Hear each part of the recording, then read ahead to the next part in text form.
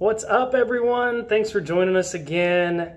Man, I um, I rode my bike into work this morning, and I am, gosh, tired, sore. Um, you know why? Uh, and don't say because I'm old, uh, although that's probably part of it. But largely because I haven't exercised, especially have not ridden my bike in a long time. So my muscles are going to be tired and sore because I haven't done that in too long.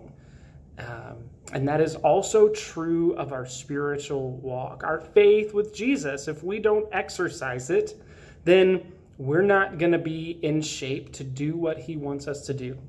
You ever looked around and maybe you see other people that you think are more mature in their faith than you, or some trials come and, and other people seem to have a faith to stand on, and you're kind of waffling on where you're at in your faith?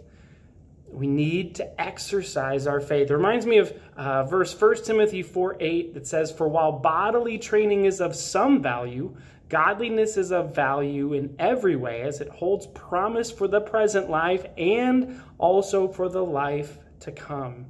Exercise your faith this week. Maybe it's your Bible, maybe it's prayer, maybe it's time in worship. Exercise your faith. Spend time with God and watch Him do work in your life. I love you. Have a great week.